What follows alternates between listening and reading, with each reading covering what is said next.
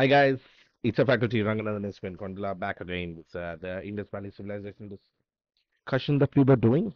Now, see in the last class, I in the in the last in the previous video of Indus Valley Civilization, I did discuss with you about uh, certain features which are special and unique to Indus Valley Civilization, its culture, its traditions, etc. Now let us quickly observe some of the important town planning features of Indus Valley civilization. Now, one most important aspect of Indus Valley civilization is its remarkable town planning. Its town planning is well laid out, well established, and, and uh, one thing is common is um, all the Indus Valley cities seems to have somewhat similar layout across their cities. In the west has a high mountain, east has a low flat farm in pretty much every Indus Valley city tends to have a citadel on the high mountain. Citadels are large constructions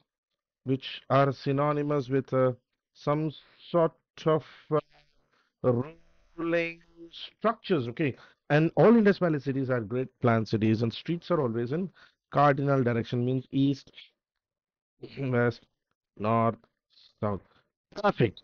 True east, true west, true north, and true south. You know, and Indus Valley also tends to show extensive amount of incremental settlement pattern. That is, a 30 feet road is actually fed by a 20 feet road, which is fed by a 10 feet road. So everything in Indus Valley in terms of urban planning looks quite established and quite uh, planned out and working class in Indus Valley civilization completely live in, seems to be living only in the lower town and uh, all Indus cities show evidence of uh, walled sectors or mounds. And Indus is perfectly a class structured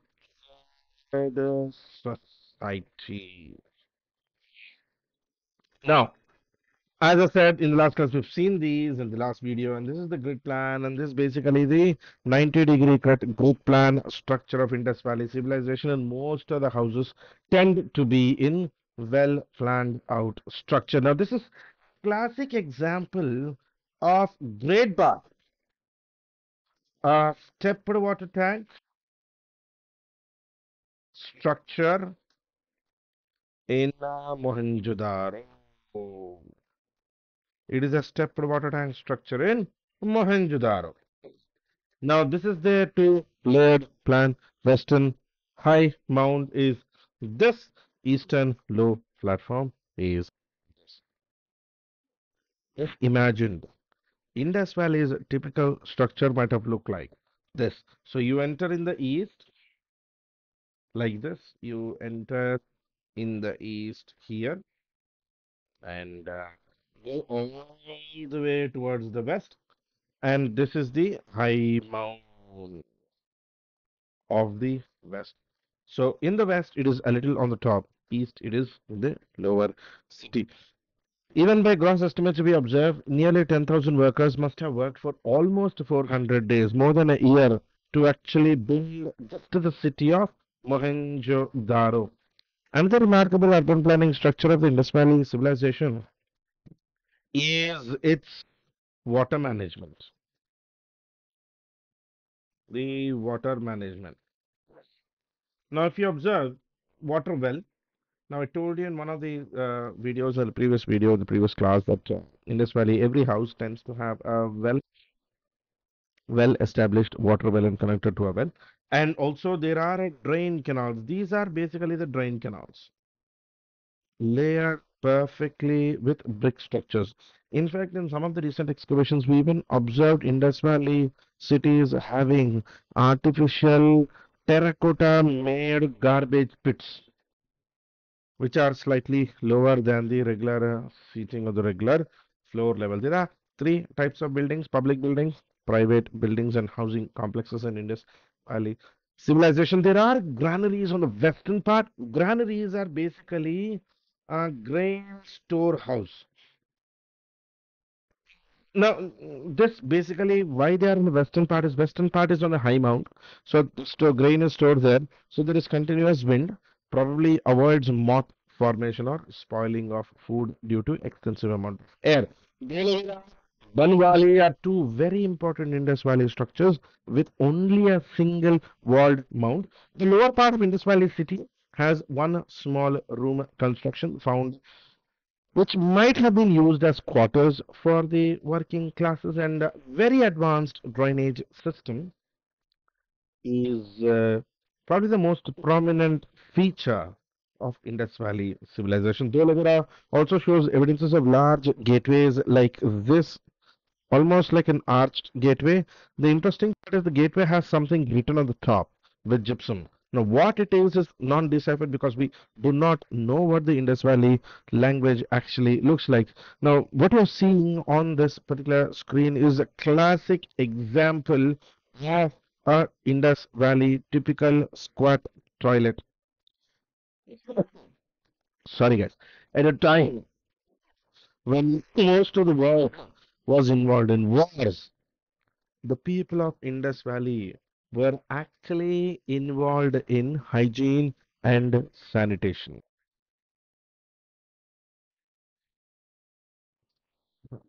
That makes Indus Valley one of the most unique things. This is a typical, well, an artistic depiction of Dholavira looks like this. Now you can see the uh, arched uh, gateway here. This is the arch, arch gateway of Indus Valley and typical granary on the high mount observed in Indus Valley civilization. Harappa falls on the banks of Ravi River. This is very important for your prelims. Harappa falls on the Ravi River. It is one of the first excavated sites by Daya Ram Sahni citadel has been found, great granary has been found, circular platforms, probably for thrashing of the grains, has been found in Harappa. Two room barracks have been found in Harappa. Even bronze items have been found in Harappan area. Lothal is another important Indus Valley city found in uh, Gujarat of uh, India. Now, in Lothal, we see that the city of Lothal is actually divided into six parts. Lothal also has an artificial dockyard approximately of 230 feet. Lothal definitely might have been a trading center, mainly important and synonymous with the sea trade of Indus Valley civilization. Houses or buildings have entrances directly into the streets. Now, that is something rarity and different because, in general, Indus Valley civilization houses do not have entrances straight into the street. They always have side entrances, but only in Lothal they tend to have entrances straight into the main street. Rice husk, artificial dockyard, and bead making industry have been found in Lothal. Now, Mohenjo-daro, one of the largest Indus Valley cities, found in Indus River in Pakistan, and it was excavated by Rakhal Das Banerjee, one of the largest Indus sites. The word literally Mohenjo-daro means mound of dead. The granary of Mohenjo-daro is the largest. Even is the Great Bath. Great Bath is a classic example of water control and water uh, regulation system of Indus Valley civilization. Most probably, Mohenjo-daro's Great Bath was for some sort of ritual bathing. Baked bricks were used as layering for the floor, and then gypsum was used as a sealant in between the bricks. Lothal, uh, Mohenjo-daro also shows evidence of galleries on the top. Galleries are basically smaller rooms on the top. Now, there is a bronze girl, dancing girl statue which has also been observed in Lothal, made out of lost wax technique, a unique technique where in order to make a object, they first make a wax model of the object, then cover it with clay, then bake it. Once it is baked, all the wax inside melts, but the clay becomes like a hollow.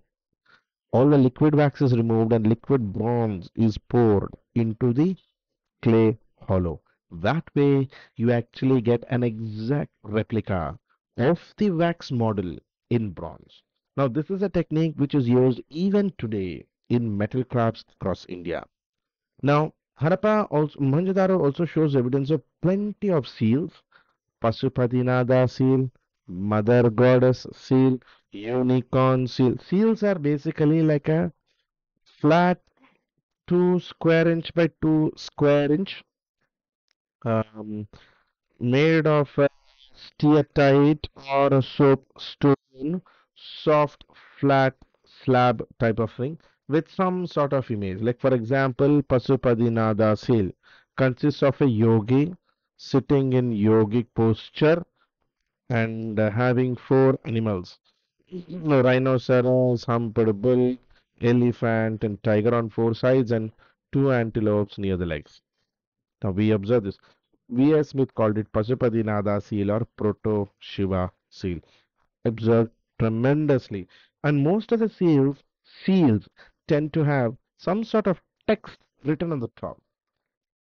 Now we don't know what that text is all about. Another important uh, place of Indus Valley civilization in India, Rajasthan mein, it is uh, Kali Bangan, well known for bangle making industry. Uh, also for plowed fields with furrows. Houses have private wells in Kalibangan completely and brick platform granaries have been observed, like square granaries.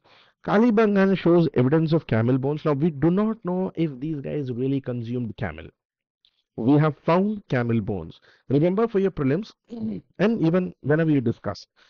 हमेशा याद just because camel bones have been found it does not mean that they were eating camel we do not know the evidence and uh, Kalibangan also does not show evidence of no um, does not show evidence of baked bricks and or drains and uh, Dholavira in uh, Gujarat one of the most unique platforms in one of the previous videos of, of you've seen this Dholavira's speciality is a series of check dams across the city now this may be because Dholavira might have been a consistent victim of flooding and overflow of water and probably they were using check dams to control the flow of water on a regular basis. Dholavira shows evidence of that. Surkotada, another important uh, Indus Valley site, shows excavations. Most of the excavation released horse bones. Now, this has been a previous year prelims question, rather very controversial question. Horse bones have been found in Surkotada, but historians are still confused, still not very clear if horse bones that have been found can be considered as an evidence that people in Indus in Surkotada knew what horses are because other than the horse bones, we do not see any presence of horses. Chanhudaro is another city of Indus Valley where uh, we see the city without any citadel. Citadel. No, basically, no big uh, no, construction type of um, administrative type of buildings. And Shortugai. Shortugai is the outermost Indus Valley settlements.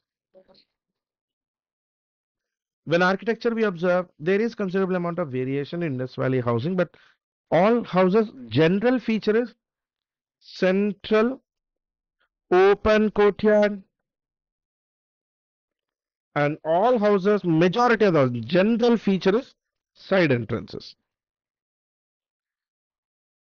Doors windows do not open into the main street. Mud bricks and kiln fire bricks have been observed sometimes even stone like in Kutch and Saurashtra Indus Valley I told previously as well that they do show evidence of stone architecture doors windows have very good evidence of wood and mat and uh, most Indus Valley floors are hard packed earth. What you you go to old houses, you see the red color coating on the floor. That's basically clay and lead, just very quickly uh, made and then applied on uh, applied on the floor. That one that is observed in Indus Valley civilization. Doorways, windows rarely, very rarely open into the mainstream. Most houses, most view into the house is actually blocked. Their central open courtyard, rooms on all the sides, and even staircases have are wooden staircases.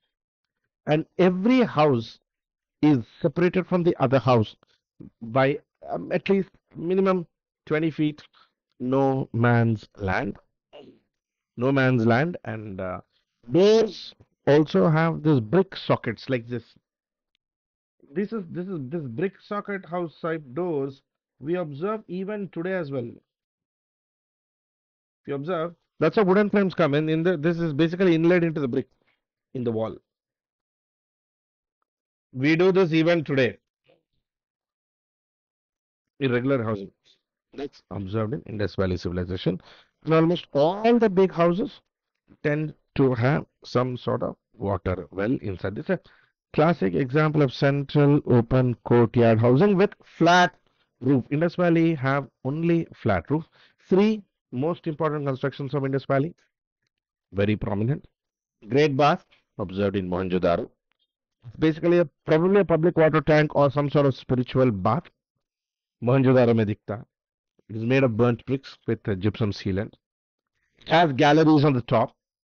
Also well attached with a canal. Then comes the great granary, which is Harappa, and uh, brick platform construction, and uh, two room apartments are also been observed near the great granary of Harappa. Remains of wheat and barley have been observed in Harappa. Dockyard was observed in Lothal, artificial dockyard. Now we are we have sent Lothal to uh, UNESCO's uh, World Heritage uh, consideration.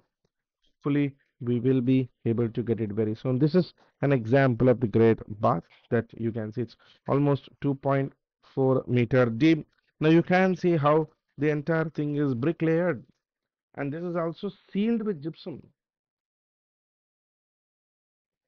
Gypsum sealant. So that way it is completely waterproof and water resistant. It's great bath. Now that's how the you can see in the sides all the galleries are there. Due to presence of galleries that many people confuse that this is some sort of spiritual center, not just a bath, public bath. And uh, even the bricks are used in the English system of layering. That is, you know, this cross by cross, like this, the English lay English way of laying a brick. We do this even today. Even today, bricks are laid this way only.